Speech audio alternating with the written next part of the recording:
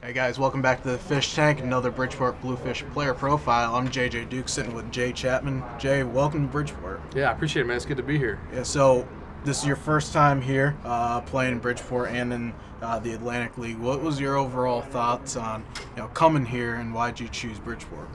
Yeah, well, it just seemed like the you know a nice place to be, and it's you know good stadium, good people, and they called me, and you know I had a you know some, some hip surgeries, you know, and then uh, just gonna come here and play and try to prove I'm healthy, you know, and, and, and help this team win. All right, well, you pitched back in the major leagues back in 2012.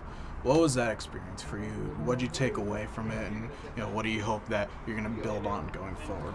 Uh, it was one of the most incredible experiences in my career. Obviously, um, it's what everybody dreams of, and uh, it was awesome. You know, what I took away from it is is that you know those guys are pretty good.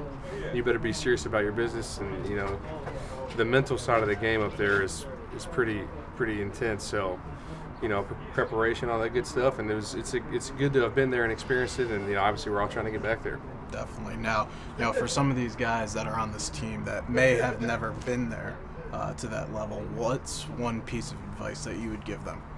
Um, you know, just whatever your strengths are, you know, do a pitch to your strengths or you know play to your strengths, you know, because that's where you're gonna have the best shot at success and your strengths. You know, not necessarily sometimes you want to try to go to other people's weaknesses, but maybe going away from your strength as well. Right. And if sometimes if it's strength on strength, you just gotta see who wins. All right. Well, um, for people that don't know much about Jaye Chapman, what are we going to see here in 2014? Not only just like you know who you are, but you know your playing abilities, your strengths on the field.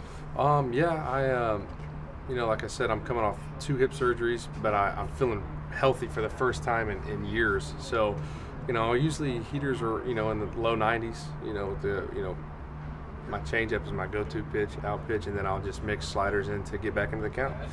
So, fastball, slider, changeup, and then you know I'll try to I feel like I'm a pretty good clubhouse guy, some excitement, and you know looking forward to playing here. Awesome. Now, you know, what are your hopes and expectations here in Bridgeport this season, not only for yourself but for the team?